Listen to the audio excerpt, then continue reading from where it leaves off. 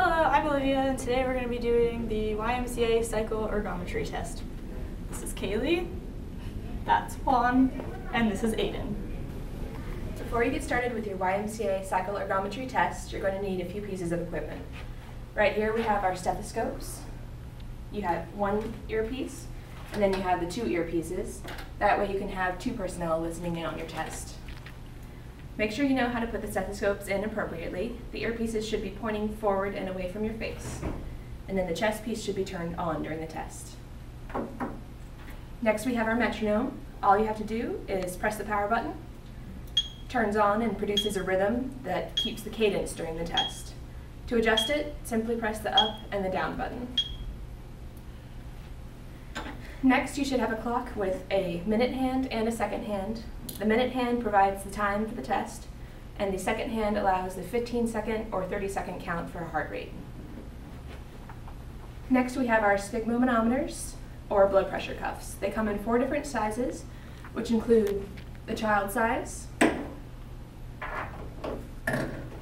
the adult size, large adult, and the thigh. The thigh is rarely used, but just keep it around in case you have a participant that needs it.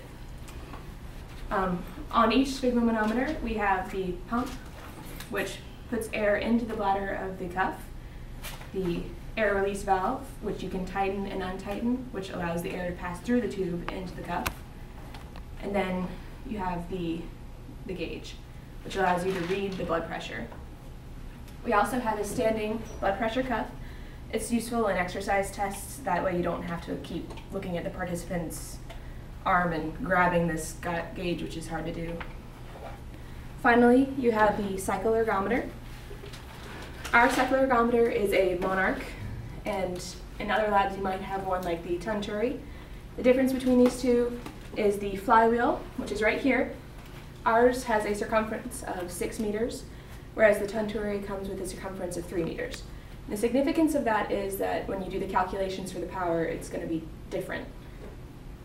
Where you, uh, after you calculate the power for each stage of the test, you're going to come here to the force plate, the force scale, and you're going to adjust the force by either moving the pe pendulum manually, by either moving the pendulum manually, like so, or you can come up here to the force knob, and you can twist it, and that will either tighten or loosen the resistance.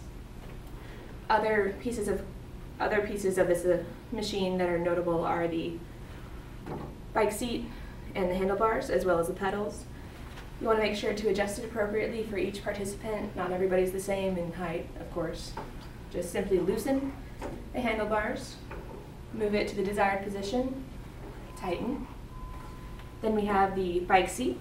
All you have to do is unscrew the knob, adjust it, and then simply put it back and tighten it. And that's how you get set up for the YMCA cycle ergometry test. Hi, good morning. The YMCA protocol is based on two to four stages. Uh, the first stage is 150 kgm per minute and 0.5 kgm based on the Monarch cycle, six meters of revolution times uh, the metronome of 50 beats per minute.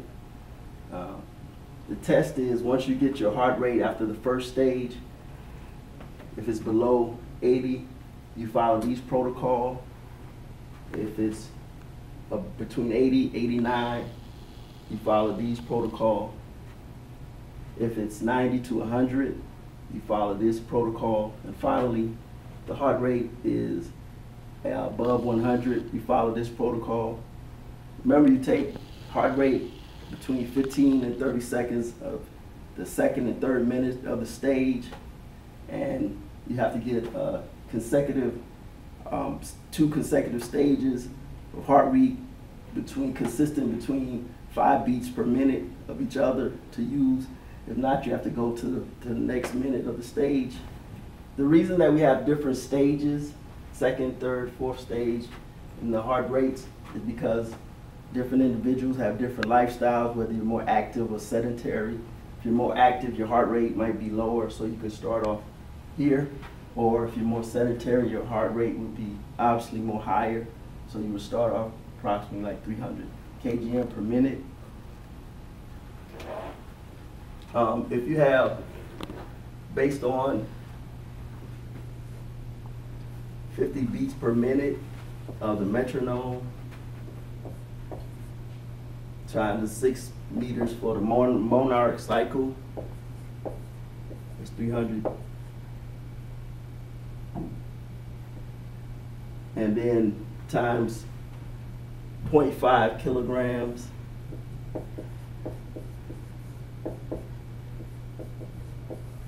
Equal 150 kgm per minute.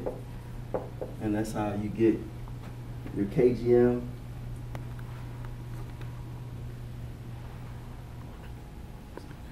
And if you wanted to get watts, then you would divide it by six.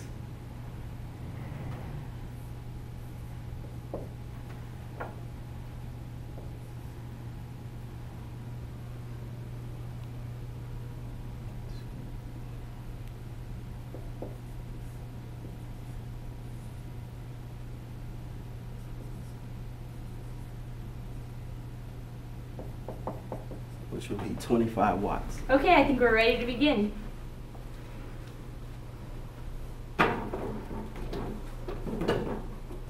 What would Dr. J do?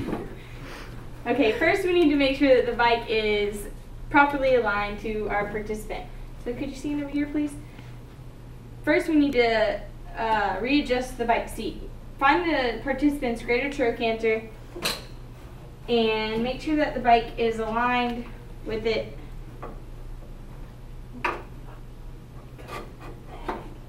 Things broken.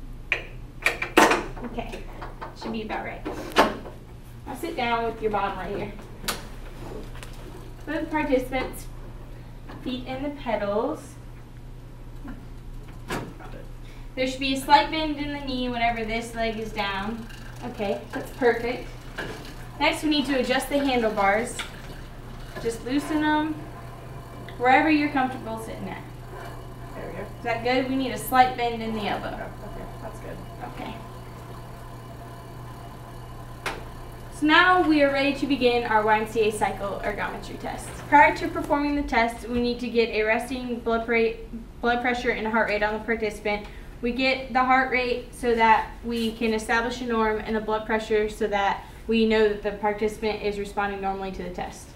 So first we want to find, uh, we pre-measured her arm at 24.5 centimeters, so we're going to use a regular adult size. We line up the little artery arrow with the brachial artery. Make sure that the tight is secured. Make sure that the cuff is secured tightly on the arm. We're going to pin the gauge up here so that's easy to read. Make sure that the air valve is closed. We're going to put our stethoscope on. Make sure that the earpieces are facing forward. Make sure it's on. Okay. We're to hold the participant's arm line up the stethoscope on the brachial artery. Now we're going to pump it up to about 20 millimeters of mercury above what we expect, so to about 160 or 180. And then we're going to let it release the valve very slowly and listen for the first muffled sound. The first muffled sound is the systolic blood pressure, and then we're going to listen all the way down until the last sound, and that's dystol- diastolic blood pressure. So here we go. Make sure that's closed. Sometimes they're a little bit difficult.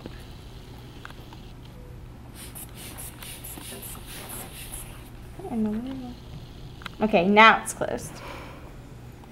Pump it up to about 160 or 180. Release very slowly.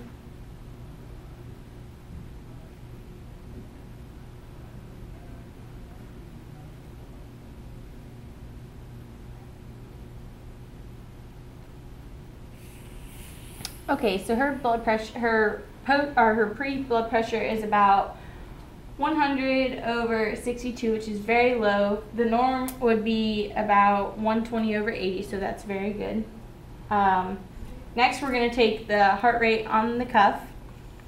So to do that, we uh, pump the valve up to about 20 millimeters of mercury above the diastolic, which was 60. So we're going to pump it up to about 80.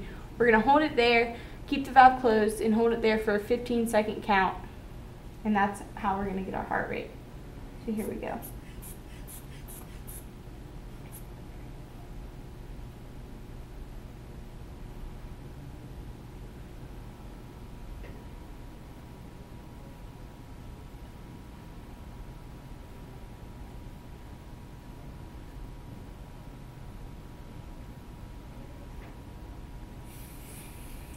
Okay, now that we have our heart rate, we take that number, times it by four, and that's your heart. Yeah, that's your heart rate.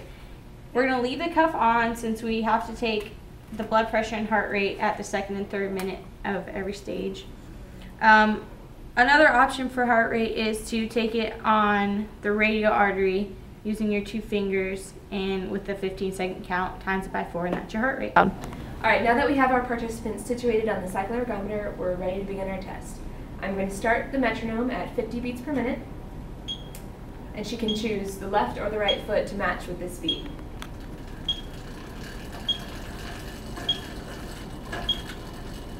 All right, she's chosen her right foot, and she's going to keep that pace throughout the entire test. I'm going to put it right here, just keep it out of the way. During the first stage of the test, we're going to set her resistance to 0.5 kilograms or 150 kgms, and she's going to maintain this pace for three whole minutes. We're going to take her heart rate and her blood pressure during the first two minutes.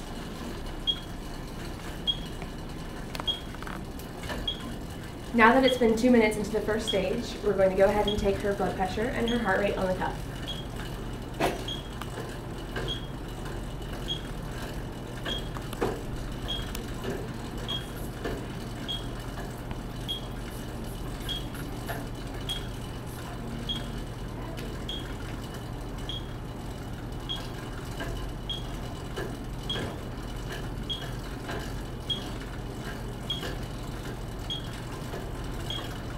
All right, I got her first heart rate to be 23 beats per minute, which adds up to 92 beats per minute when you multiply it by four.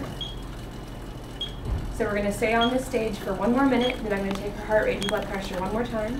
And if it's at a steady state, then we'll move on to the next stage.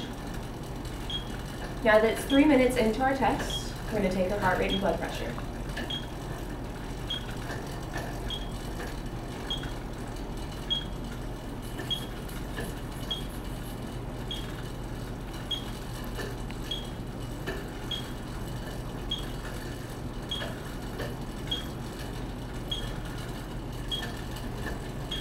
All right, that time I got 24, which by 4 is 96 beats per minute. So that's within 5 beats. We can go ahead and progress to the next stage.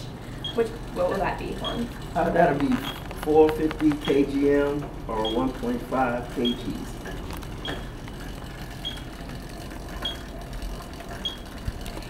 All right, she's gonna hold this increased resistance for another two minutes, and I'm gonna take her heart rate again and her blood pressure again. The increase in resistance should cause an increase in her heart rate. All right, two minutes into the second stage, I'm gonna go ahead and get the get her heart rate and blood pressure one more time.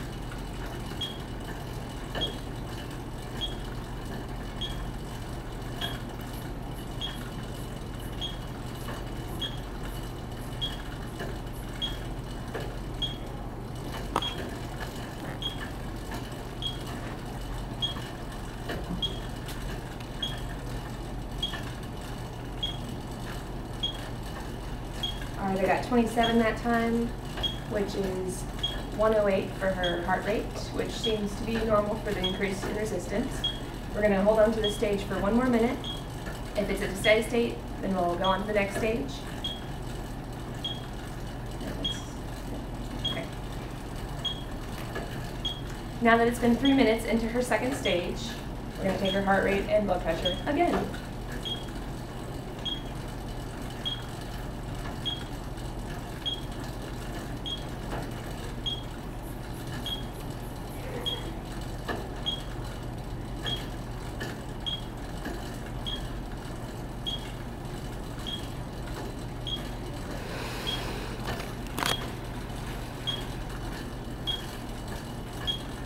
Okay, I got beat of 28, that adds up to 112 beats per minute. So that's, that is still within five beats of the previous number of 108 beats per minute. So we can go ahead and go to the next stage. What would that be, Juan?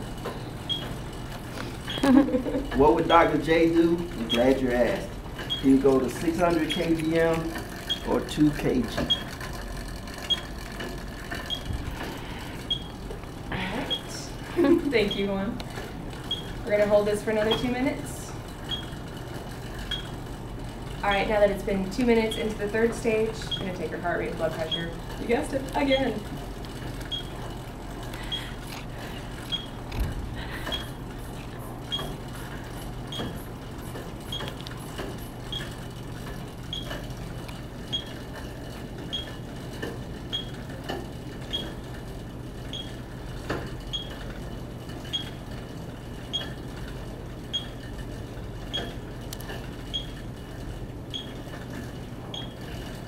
Starting to feel that resistance. All right, her heart rate is now up to 30, which by four is 120 beats per minute. So we only have to reach for above 110 beats per minute during this test. So if we can hold this for the last third minute, then we'll be done with the test. Now it's the third minute of the test, and I'm going to take her heart rate one more time and her blood pressure one more time.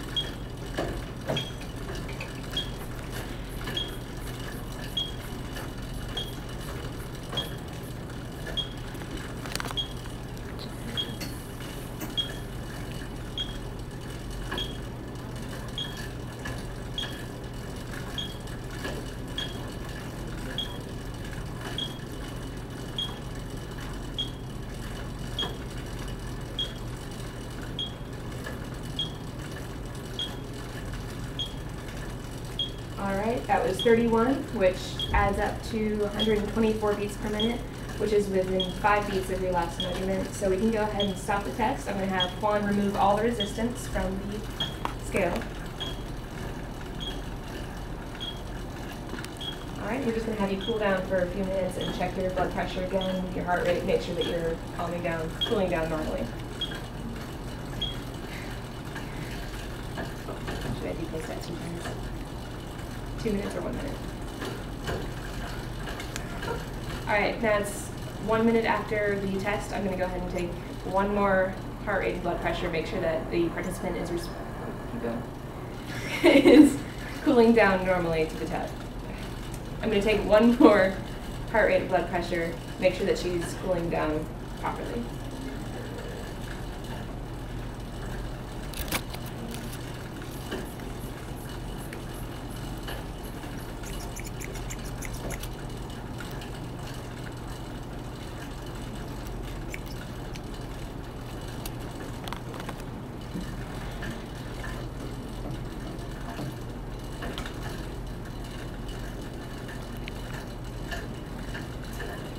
All right, go ahead and stop the test. Your heart rate was at 27, which is 108, which means you're going down and cooling down at a proper rate. And that was the cycle ergometry test. Now that we've done the test, we are going to use the YMCA VO2 max estimation graph to estimate my maximum oxygen uptake. It's really easy. You just use your um, age predicted heart rate and draw a line. Then you plot your two steady state heart rates from the last two workloads. So mine was 450 and 600, and those were my two heart rates. You draw a straight line connecting there and then follow it down, and that value is your maximum O2 uptake. And mine was in between 3.5 and 3.8, so we can say it was about 3.6 liters per minute.